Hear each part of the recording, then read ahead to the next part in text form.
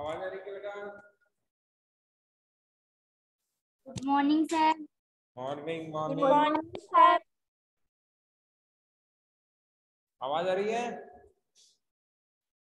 Yes sir sir yes sir yes sir yes sir कल लोकतंत्र के दोष पढ़ लिए थे अपन ने? यस सर आज पढ़ेंगे लोकतंत्र क्या है।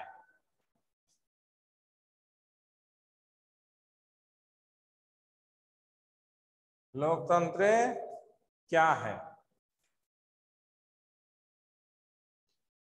इसमें अगर हम देखें तो दो बात हमें समझ में आती है। नंबर एक, ऐसा शासन जो जनता से सीधा जुड़ा होता है। क्या कहलाता है? लोकतंत्र कहलाता है।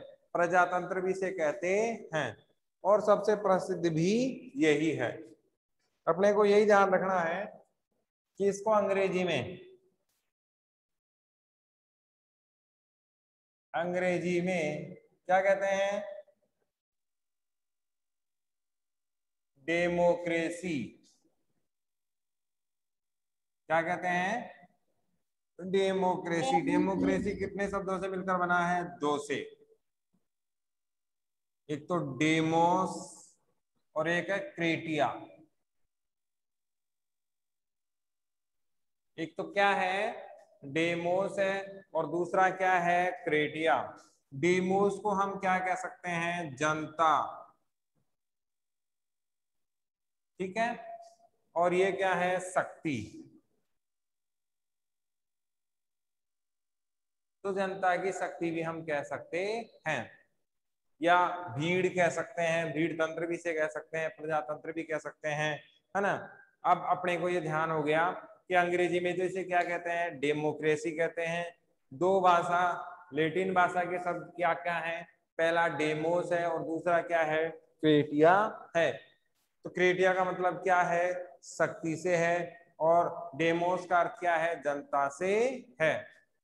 जैसे हम जनता की बात करें या डेमोक्रेसी की बात करें तो इसमें अंतिम शक्ति किसके पास होती है? जनता के पास ही होती है। अंतिम शक्ति किसके पास होती है? जनता के पास। सवाल लिखो लोकतंत्र को अंग्रेज़ी में क्या कहा जाता है? सवाल क्या है? लोकतंत्र को अंग्रेज़ी में क्या कहा जाता है?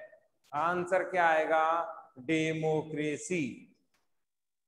लोकतंत्र को अंग्रेज़ी में क्या कहा जाता है? आंसर क्या आएगा? डेमोक्रेसी।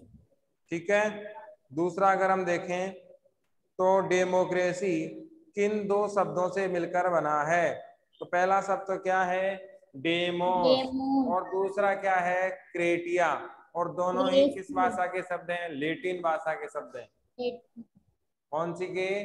लेटिन के। सोलहवीं सदी तक तो ये प्रचलित थी। अभी डेड लैंग्वेज है।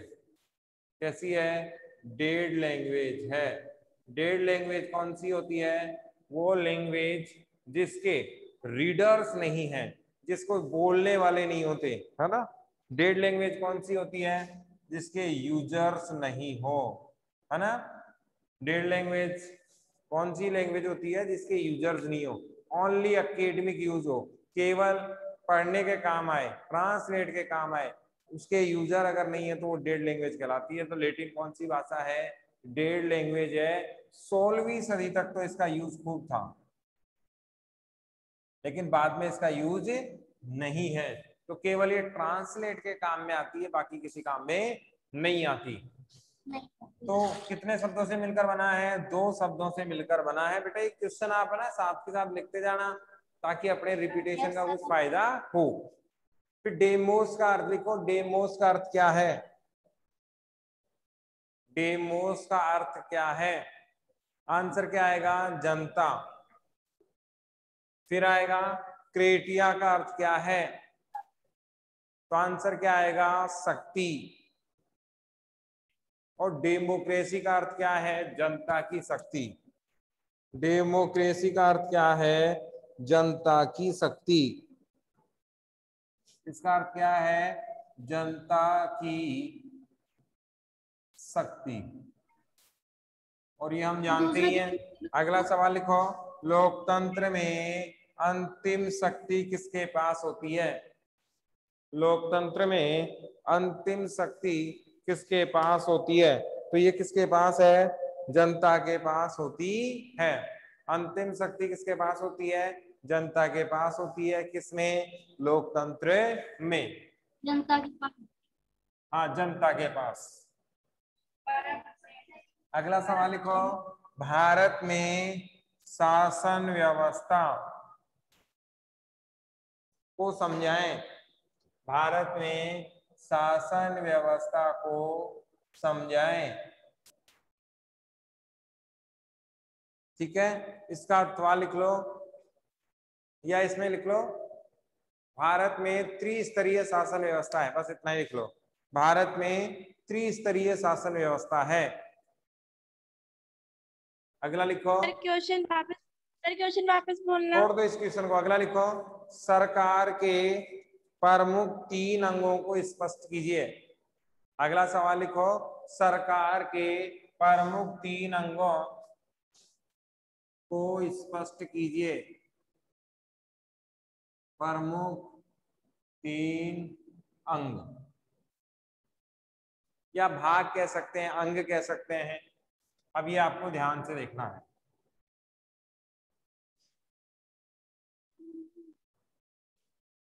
पहली कौन सी है?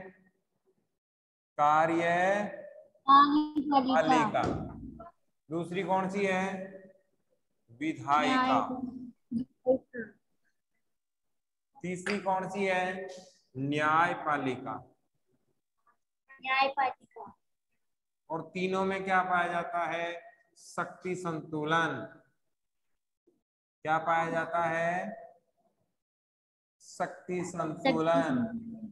पावर बैलेंस ठीक है? अब ये भी ध्यान रखना है कि भारत में सरकार के तीनों अंग किस आधार पर चलते हैं?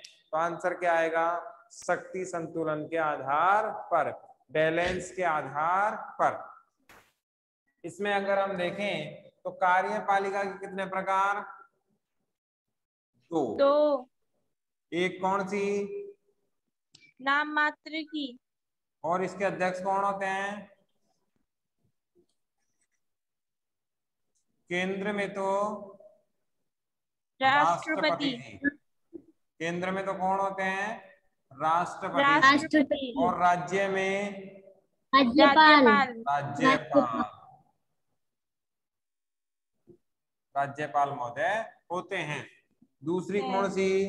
वास्तविक। वास्तविक। इसके केंद्र में अध्यक्ष कौन?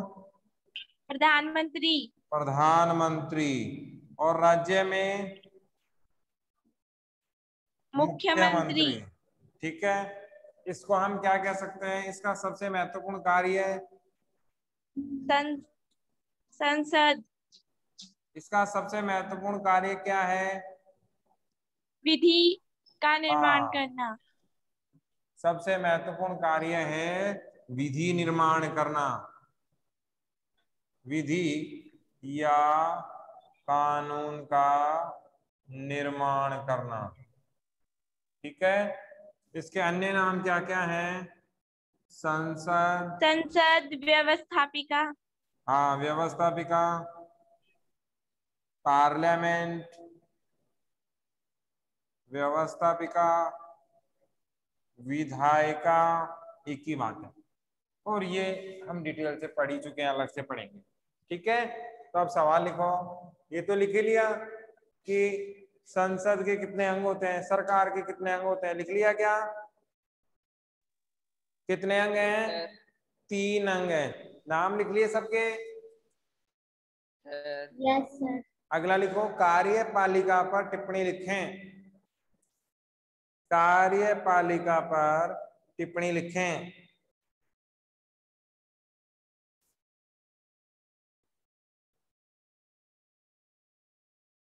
ठीक है? अगला लिखो। क्वेश्चन नाम मात्र की कार्यपालिका नाम मात्र की कार्यपालिका का अध्यक्ष कौन होता है? नाम मात्र की कार्यपालिका का अध्यक्ष कौन होता है? सर केंद्र में या राज्य में? हाँ ये भी है। देखो केंद्र में। केंद्र में नाम मात्र की कार्यपालिका का अध्यक्ष कौन होता है? केंद्र में नाम मात्र की कार्यपालिका का अध्यक्ष कौन होता है? आंसर क्या आएगा? राष्ट्र राष्ट्रपति लिख लो। राष्ट्रपति। राष्ट्रपति। अगला लिखो। राज्य में नाम मात्र की कार्यपालिका राज्य में नाम मात्र की कार्यपालिका का अध्यक्ष कौन होता है? राज्य में नाम मात्र की कार्यपालिका का अध्यक्ष कौन होता है? आंसर क्या आएगा? राज्यपाल। राज्यपाल। अगला लिखो।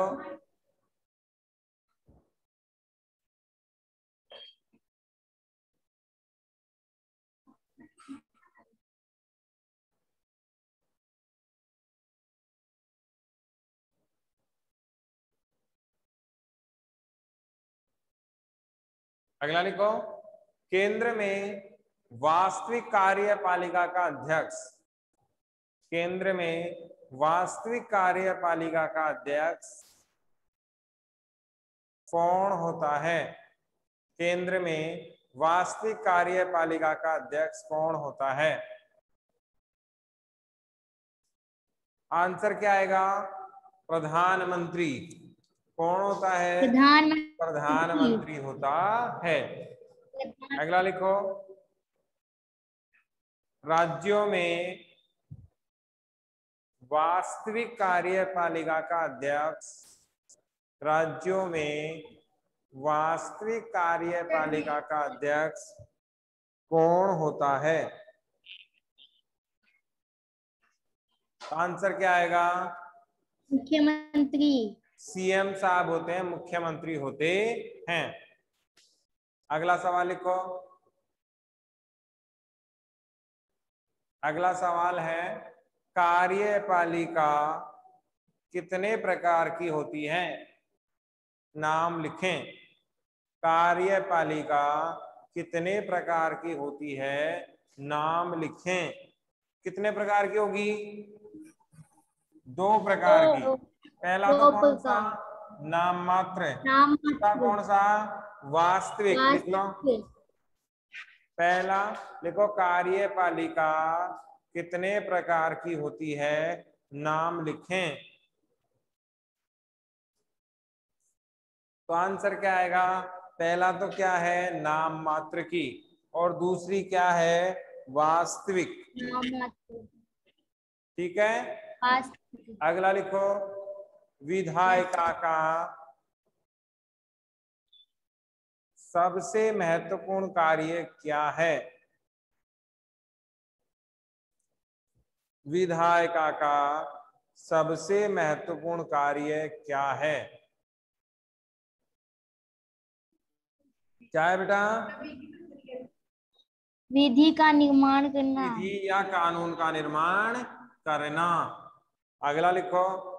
विधायिका के अन्य नाम लिखें। विधायिका के अन्य नाम लिखें। क्या क्या है? संसद, पार्लियामेंट, व्यवस्थापिका, विधायिका, सबका मतलब एक ही है। विधायिका के अन्य नाम लिखें।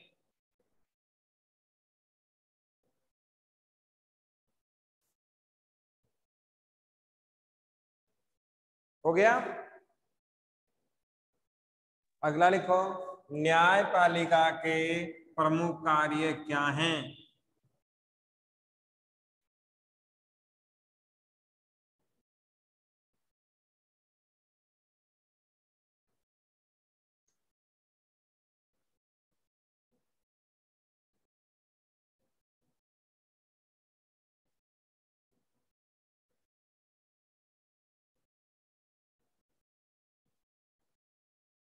न्यायपालिका के प्रमुख कार्य क्या हैं?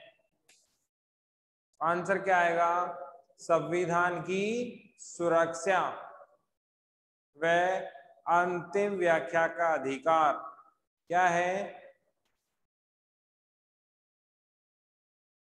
संविधान की सुरक्षा या अंतिम व्याख्या का अधिकार। किसकी अंतिम व्याख्या? संविधान की। संविधान की अंतिम व्याख्या का अधिकार। ठीक है? ये लिख लिया क्या? यस सर आवाज़ आ रही है बेटा? यस सर आ रही सवाल लिख लिया। न्यायपालिका का सबसे प्रमुख कार्य क्या है? लिख लिया सर अगला लिखो, न्यायपालिका संविधान की सुरक्षा किस प्रकार से करती है? न्यायपालिका संविधान की सुरक्षा किस प्रकार से करती है? अब ये समझ लेते हैं। यहाँ तक कोई सवाल है क्या? कार्यपालिका और विधायिका से यहाँ तक कोई सवाल समझ में नहीं आ रहा तो पूछो। क्लियर है?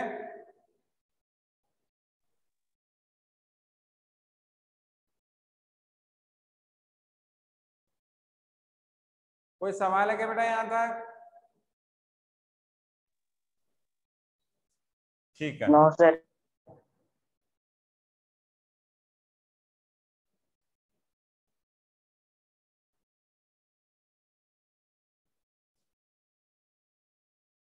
देखो, अब क्या होगा इसमें? न्यायपालिका संविधान की सुरक्षा कैसे करती है? हमने पढ़ा, विधि निर्माण किसका कार्य था? विधायिका का। किसका था? विधायिका का था। कानून कौन बनाती है? विधायिका। और विधायिका का जिम्मेवारी क्या है कि वह संविधान के प्रावधानों को ध्यान में रखकर, ध्यान में रखकर क्या बनाए? कानून बनाए। बताओ क्या दिक्कत है? विधि निर्माण का जो मेन काम है, मुख्य जिम्मेवारी है वो किसकी है? कार्य सॉरी विधायिका की है। और विधायिका बोले तो संसद संसद का मुख्य कार्य है कि वह जो भी काम बनाए, जो भी नियम बनाए, जो भी विधि निर्माण करे, उसमें क्या ध्यान रखे कि ऐसा कोई प्रावधान ना आ जाए जिसमें संविधान का उल्लंघन हो। किसका उल्लंघन हो? संविधान के प्रावधानों का। इसका मतलब ये हुआ अनुच्छेदों व नियमों को ध्यान में रखकर, ध्यान में रखकर नियम बनाने चाहिए।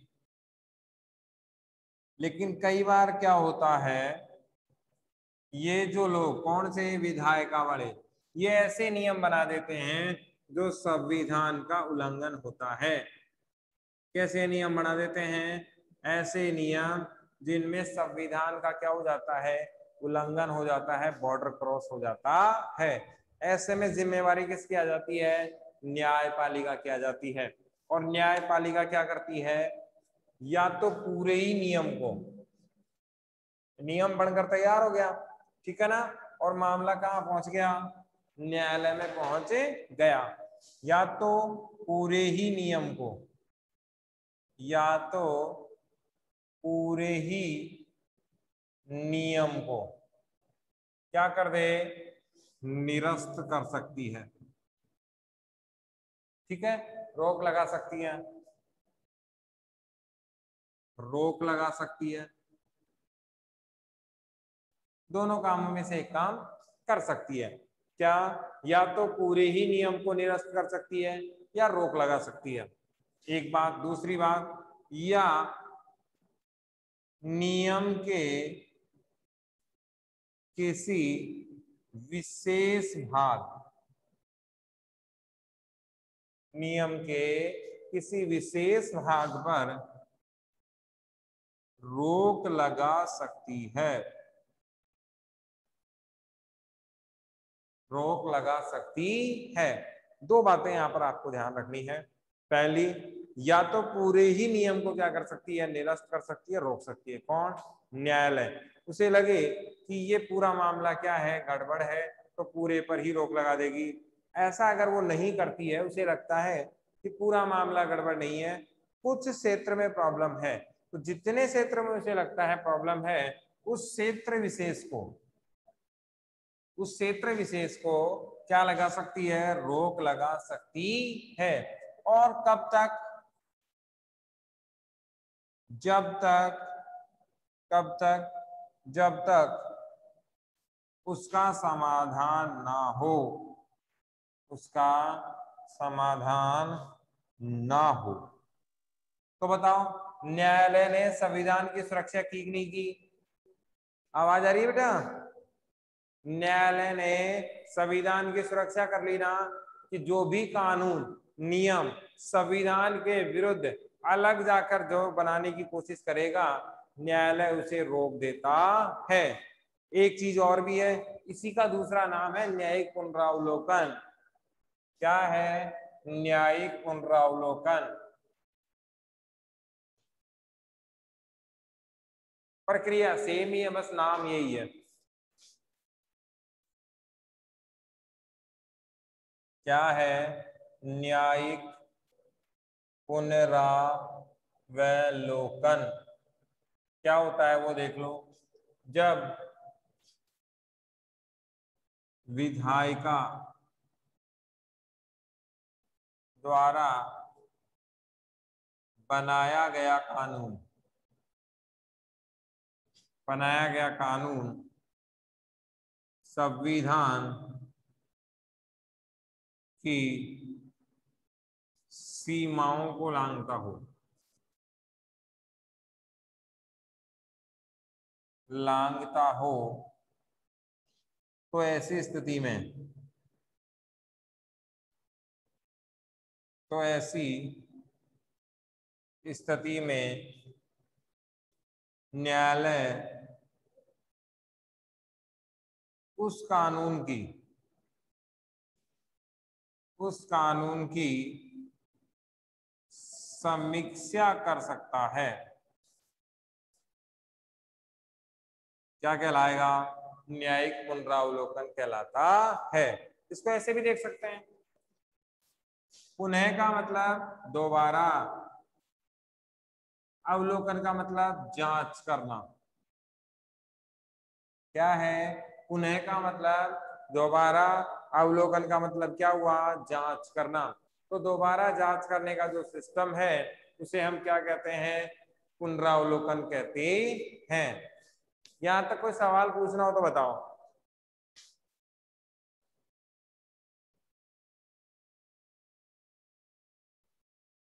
आगे देखो इसमें क्या है। आगे है अंतिम व्याख्या का अधिकार। सवाल आ जाए, संविधान की अंतिम व्याख्या का अधिकार किसके पास है? तो वो किसके पास है? Supreme court of India. Supreme court of India Bharat के सर्वोच्च न्यायालय के पास है। सर्वोच्च न्यायालय के पास। अब ये क्या होता है, ये भी देख लो।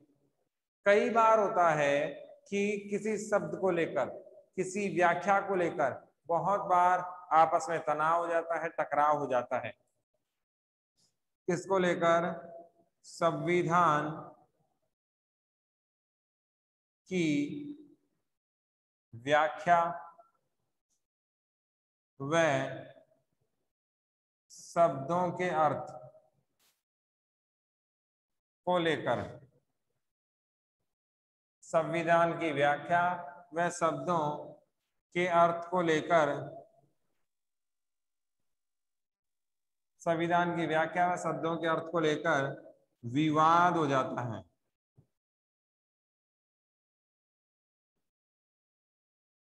तथा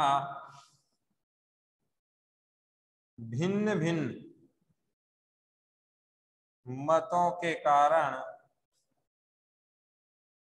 स्पष्ट व अंतिम अर्थ नहीं निकाल पाते हैं। ऐसी स्थिति में अंतिम निर्णय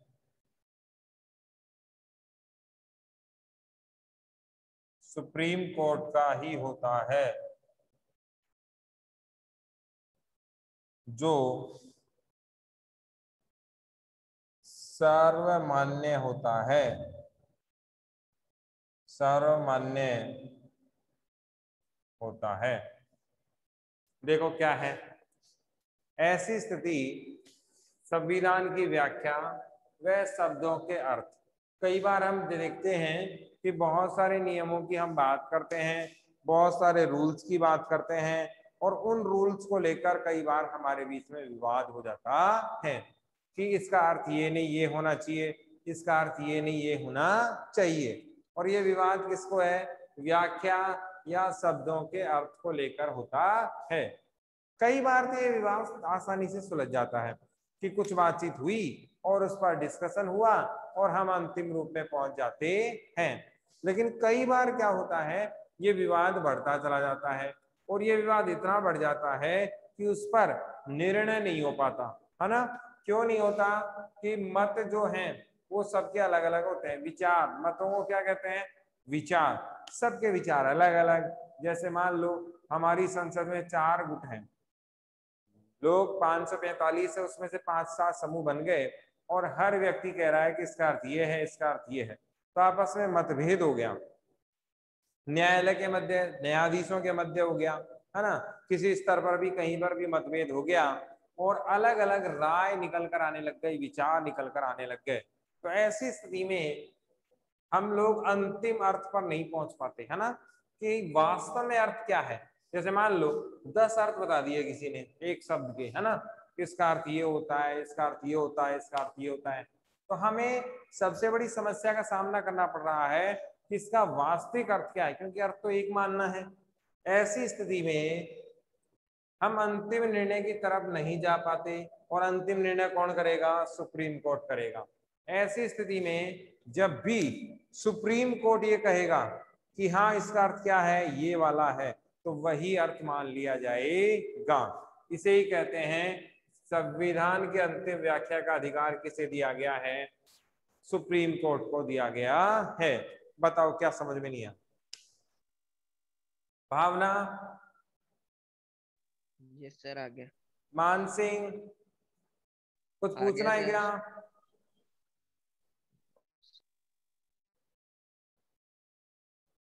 क्लियर आवाज़ आ रही है? यस सर आ रही समझ में आया ये? सर आ गया।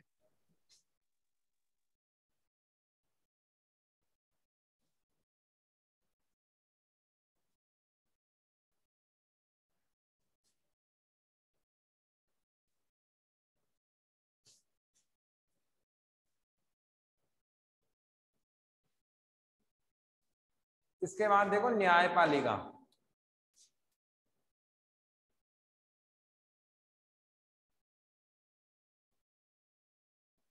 भारत में एकीकृत न्यायपालिका पाई जाती है।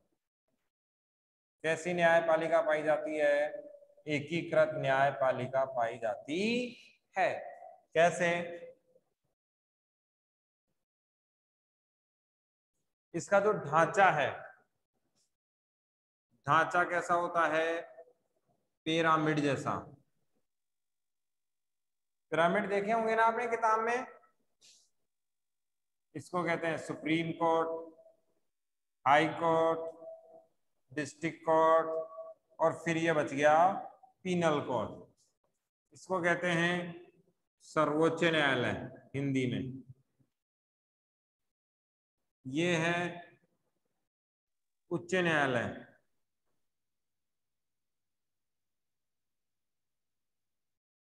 ये है जिला न्यायालय।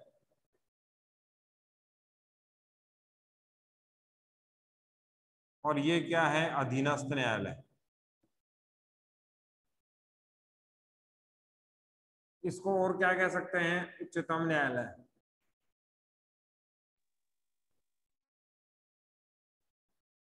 किसको? सुप्रीम कोर्ट को ही। इतनी बातें समझ में आई? भारत में किस प्रकार की न्याय व्यवस्था है? एकीकृत न्याय व्यवस्था सवाल लिख लो। भारत में किस प्रकार की न्याय व्यवस्था है?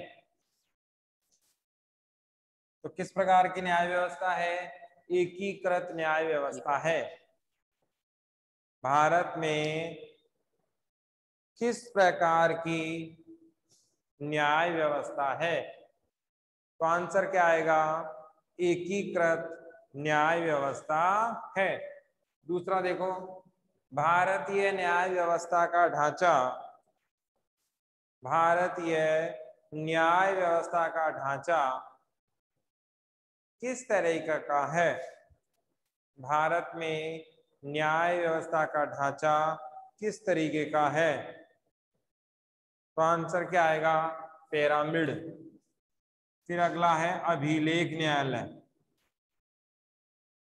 अभिलेख न्यायालय किसे कहते हैं? अभिलेख न्यायालय किसे कहते हैं?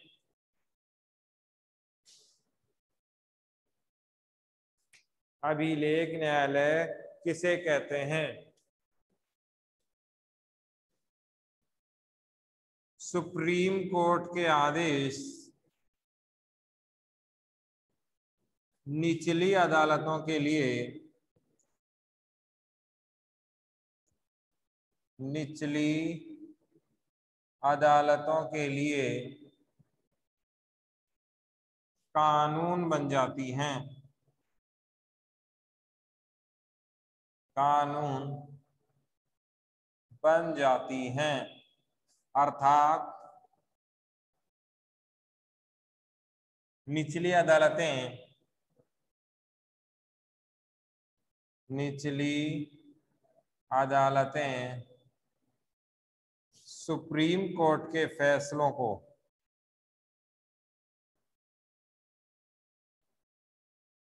कानून के रूप में। कानून के रूप में काम में ले सकती हैं। ले सकती हैं। देखो अब इसको समझना क्या है। इसका अर्थ ये हुआ कि अभिलेख न्यायालय क्या है? सुप्रीम कोर्ट के आदेश कौन सी अदालतों के लिए निचली अदालतों? सबसे ऊपर कौन सी है? ये वाली। Supreme court. न्यायालय कितने प्रकार के? चार। पहला, दूसरा, तीसरा और चौथा। ये है एक ही, लेकिन इसके चार स्तर हैं। चार स्टेप्स हैं, चार स्तर इसके हैं। तो सुप्रीम कोर्ट ने कोई आदेश दे दिया तो वो आदेश कहाँ कहाँ चलेगा? वो आदेश इनके लिए क्या बन जाएँगे? कानून बन जाएँगे। क्या बन जाएँगे? कानून बन जाएँगे। और उसके आधार पर फिर वो क्या करेंगे? न्याय करवा सकते हैं। वो आगे इसको बढ़ा सकते हैं और इन फ्यूचर ये बता सकते हैं कि सुप्रीम कोर्ट ने इस मामले में ये जो निर्णय दिया था, है कि नहीं? सुप्रीम कोर्ट क्या देगा? किसी भी केस को लेकर, किसी भी केस को लेकर केस हिंदी में क्या कहते हैं? वाद। अंग्रेज़ी में क्या कहते हैं? केस। हिंदी में क्या कहते हैं? वाद। किसी भी केस या वाद को लेकर यदि क्या दे देता है? निर्णय दे देता है। रिज़ल्ट सुना देता है। तो फिर वो नीचे की अदालतों के लिए क्या बन जाएँगे? कानून बन जाएँगे। और वो जज साहब से वकील कह सकते हैं कि माननीय सुप्रीम कोर्ट ने इस मामले में ये आदेश दिया था तो आप भी इसी प्रकार का आदेश दे सकते हैं। हाई कोर्ट में वो दलील मान्य होगी।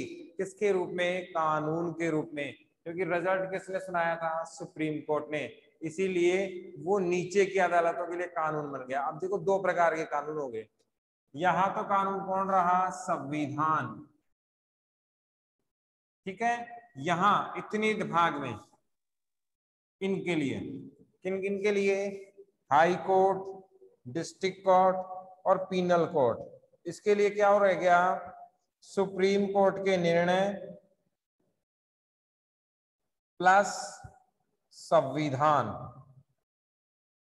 इसको ध्यान में रखकर अब ये निर्णय देगा।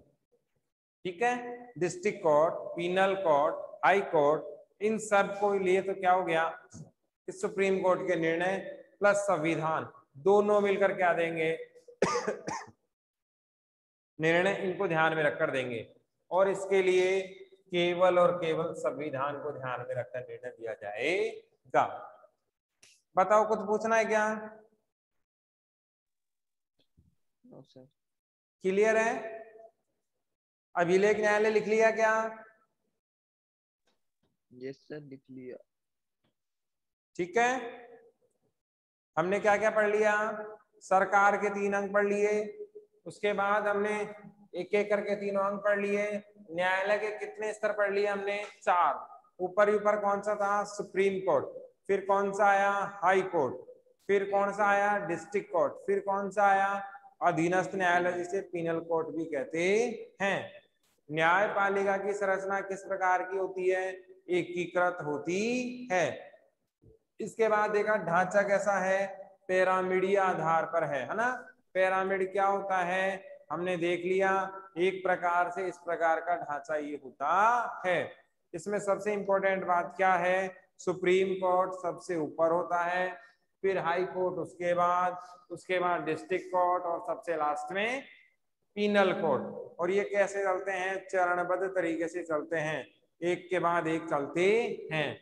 सबसे पहले मामले पीनल कोर्ट में, फिर डिस्ट्रिक्ट कोर्ट में फिर हाई कोर्ट में और फिर लास्ट में सुप्रीम कोर्ट। सुप्रीम कोर्ट के बाद एक ही कोर्ट बसता है, कौन सा? ऊपर वाला, भगवान का कोर्ट। इससे बड़ा कोई कोर्ट है ही नहीं। एकीकृत का मतलब सबके ऊपर दादागिरी किसकी है, वर्चस्व किसका है? सुप्रीम कोर्ट का ही है। ढांचा कैसा है? पैरामिड का मैंने आपको बता दिया। अभिलेख न्यायालय क्या होते हैं? सुप्रीम कोर्ट के जो भी आदेश हैं, वो नीचे की अदालतों के लिए क्या बन जाते हैं? कानून बन जाते हैं। कल हम पढ़ेंगे, सर्वोच्च न्यायालय क्या होता है? इसके क्षेत्राधिकार क्या हैं? किस प्रकार से ये बनता है? किस प्रकार से ये कार्य करता है? न्यायाधीश का चुनाव कैसे है? ये सारी चीज़ें। और फिर अपना चैप्टर हो जाएगा खत्म। न्यायालय इसमें